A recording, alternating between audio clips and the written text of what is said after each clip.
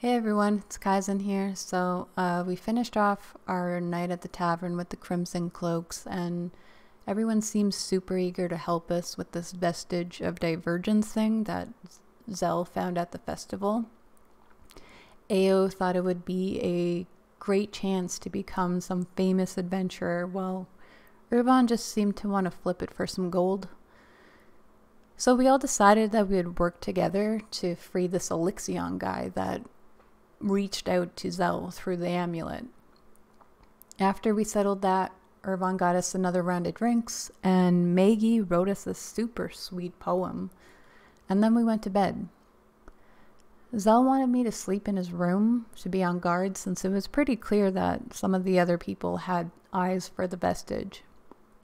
So I slept by the door to block it and ended up having some really strange dreams that night.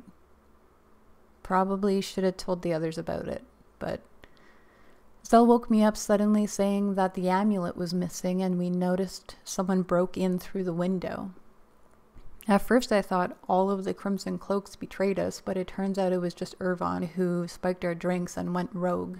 So it was clear that he had a big lead on us, so while we were hatching a plan of what to do next, Zell was talking to one of the elders who had a vision about us. This Alyxian really wants our help, it seems, because they even told the elders so through this vision. Zell said he talked to the gods. Uh, not sure what that's about, but they told him that Irvon might be a servant of the betrayer gods, which means he probably doesn't want to just sell this thing.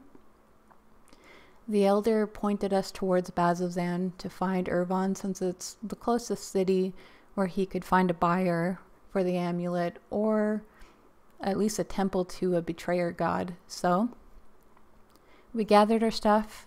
We got some mounds, which, oh, Ao, she got us these Moorbounders, and they're so cool, and I cannot wait to get to know mine better.